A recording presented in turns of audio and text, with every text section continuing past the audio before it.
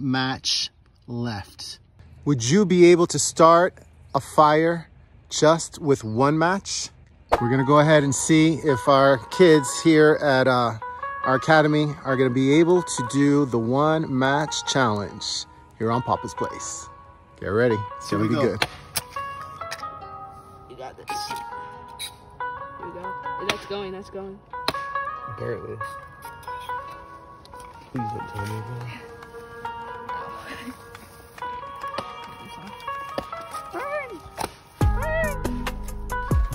It's like everyone that can stop it. Wait, where's the sap?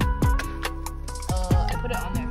Wait, you have more in your backpack, right? Yeah. Okay, that's happening there.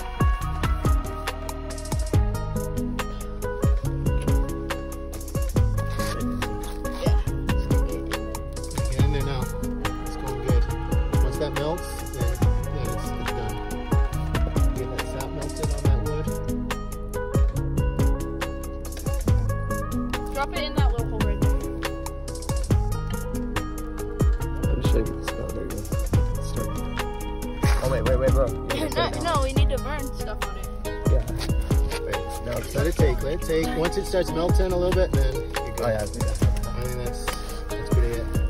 All right, you're already down to two minutes.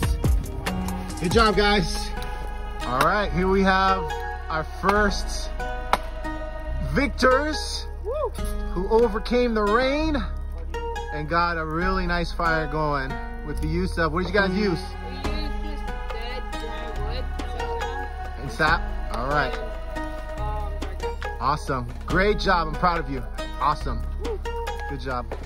Man, I'm really proud of those kids. They were able to accomplish the one match challenge.